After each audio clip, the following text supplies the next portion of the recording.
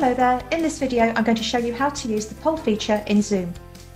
The poll feature in Zoom is a great tool to get people involved with quick questions, quizzes and voting on ideas and options. You can use Zoom's built-in polling feature to vote on a discussion or get feedback on the current meeting. You can create polls with single or multiple choices and can host one at any point during a meeting and they can be anonymous if you like. Polling isn't available for the free version of Zoom at the moment. In order to poll inside a meeting on Zoom, the host of the meeting needs to be a licensed user, meaning you need to have a paid Zoom account. However, that only applies to the host of the meeting. Participants don't have to have a paid account to use the polling.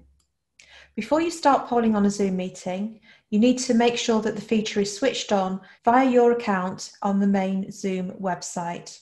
And you can set up a poll in advance for a meeting on the Zoom website. Go to meetings, click on the subject of your upcoming meeting, and click on the poll link. And you can also set up a poll live while you're in session. So when you're in session, you can just click on the polling icon and this box here will pop up. You'll see that it says add a poll. You just give it a title. You tick whether or not you want it to be anonymous, type in your first question and then set up whether you want single choice or multiple choice answers. And here's an example of a poll in progress.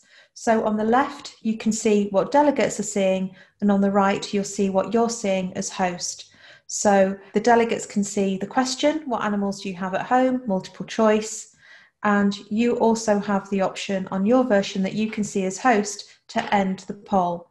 So what you will see is as delegates answer the question, the percentages will go up and the bar along the bottom will fill up so that you can see as well how many people have actually viewed the questions and how many are voting. So when you're ready, end the poll and you just click on share results and the poll results will come up on the delegate screen as well as yours. And if you want to relaunch the same poll, you just click on that relaunch poll to button there. So it's really super easy and fast. Hope you enjoy using the polling function in Zoom.